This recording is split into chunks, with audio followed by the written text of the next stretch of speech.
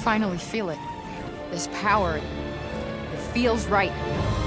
It is mine.